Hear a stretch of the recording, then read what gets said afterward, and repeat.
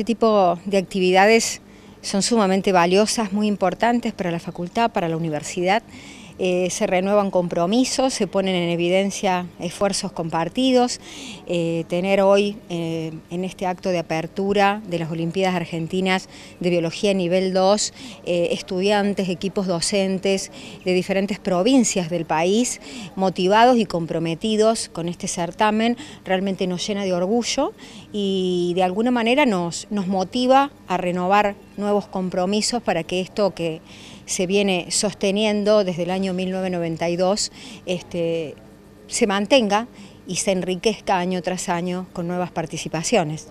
Desde la organización valoran mucho la posibilidad de recuperar la presencialidad en este certamen. Absolutamente. Eh, en el año 2020, 2021, el certamen se realizó de manera virtual. Este, por supuesto, no por eso fue menos, menos trascendente, pero claramente eh, la esencia del compartir, del vivenciar una experiencia presencial en el campus, en las instalaciones de la universidad y que nos puedan visitar de todo el país, bueno, tiene realmente eh, un impacto y un significado muy particular.